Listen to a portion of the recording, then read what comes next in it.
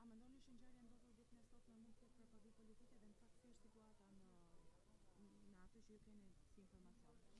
Mbasditen e sotme, pjesë e strukturës tonë, po dhe qytetarë të zonës Poro na kanë informuar se është goditur me armë zjarri një nga banorët e kësaj zone në një ambient shërbimi lokal ky që ndodhet këtu mbas meje.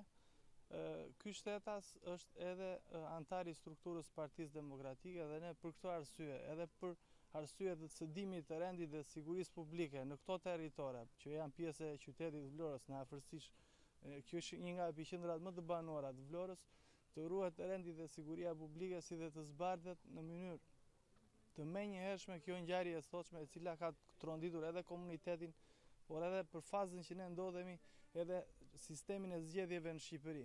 Për këto arsye, në emër të Partisë Demokratike i bëjmë thirrje autoriteteve ta zbardhin këtë ngjarje një orë më parë. Jeni takuar me pronarin e lokalit meqenëse tha që bën pjesë në strukturat e Partisë Demokratike dhe çfarë ju tha ai? Pse mendoni se nuk ka prapavijë politike?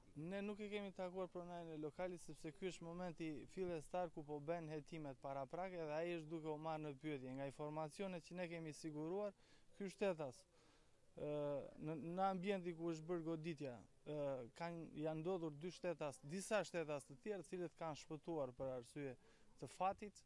por jo për arsye të autorit, ne jemi të bindur për sa i përket këtij ambienti është përdorur nga struktura tona, është një bazë e strukturës tonë ku kemi zhvilluar dhe mbledhje të mëparshme.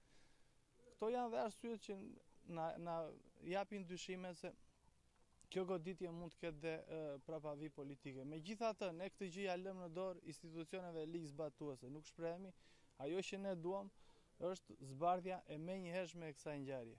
Ka patur provokime nga subjekte të tjera partiake në qësë? Nuk kemi informacione të kësaj natyre. Faleminderit. Faleminderit.